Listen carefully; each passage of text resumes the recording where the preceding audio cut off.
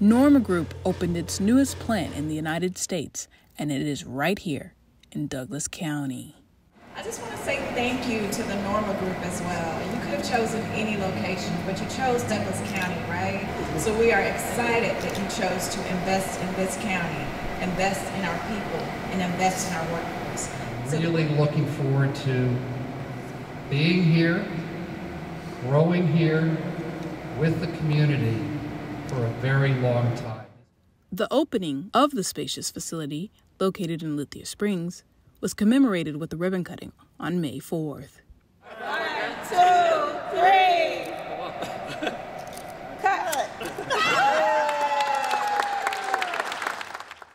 its U.S. subsidiary, NDS, specializes in irrigation and stormwater management and will manufacture products like access boxes for those systems. It picks the part out of the machine, it puts it on the conveyor belt, let it roll down. The operators inspect it, and then we put it on the skid. This is one of the items that we produce. This is called a, a valve box. The facility will operate with 40 employees. That number is expected to increase to 120 over the next three years.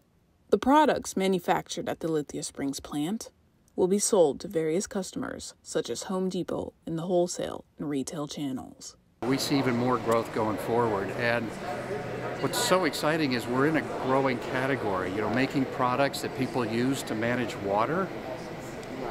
And the demand for that's just growing. So, yeah, we plan to be here and grow here for a long time. Follow us on our socials for more Douglas County news.